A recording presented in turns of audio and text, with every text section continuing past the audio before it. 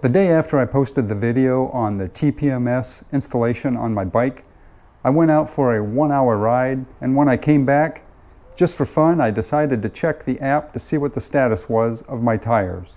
Unfortunately, that app was displaying this.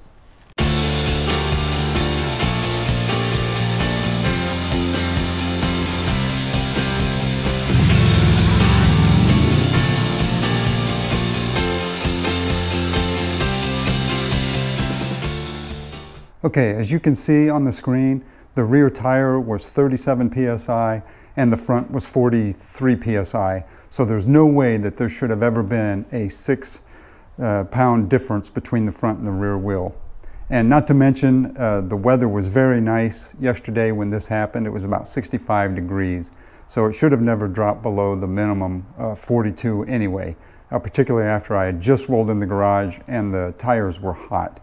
So um, so let me show you what I did when I got off and, and uh, when I saw the app, uh, what I did to investigate to see what was going on. Okay, the first thing I did was to grab the cap just to make sure that that didn't start backing out. And as you can see, it's still on there pretty tight. Um, and because that lock nut is there to hold it in place. Remember, it's not supposed to back out. So once I decided that that was not the issue then I felt like, okay, I must have run over something, so let's take a look at the tire. So I started spinning the tire around uh, to see what I could find, and there it is. As you can see, there's the culprit. I ran over a nail. So I guess I'm pretty fortunate that I had the system installed uh, because my plan was to come home, um, uh, download some uh, footage from filming, and then uh, just take a little break and I was going to go out for about another hour or so.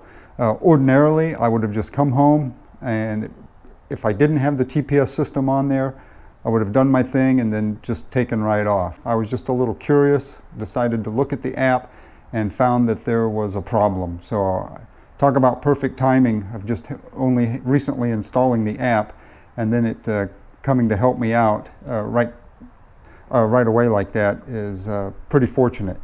So where I stand now on the motorcycle is I will uh, have to call tomorrow to see about getting it repaired.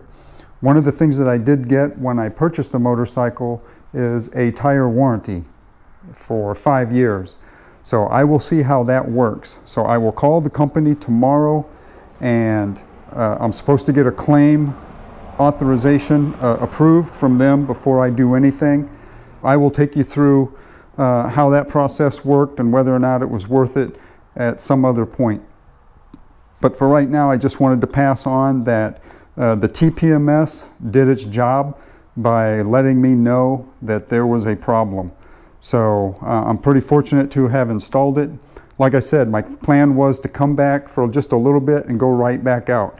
And ordinarily when I do that, I do not check my tire pressure. So in between rides like that. So I would check it before I would leave, um, but for the rest of the afternoon, I would just take it as given that it's, uh, it's still good. So I was glad that I wasn't back out riding again uh, because no telling where I may have been at the time uh, when I finally recognized that I was running out of air pressure. So, and it didn't take long. This is not one of those nails where you run over it and oftentimes they stay somewhat sealed. Uh, this was not the case. It's clearly leaking, as you will see on the screen, uh, how it progressed later on throughout the afternoon. And right now, uh, you can clearly see the tire is pretty much completely flat. But again, uh, I'm pretty fortunate to have that system on there. I will have more on this as it develops to let you know how things stand, and, and I will keep you posted. See you next time.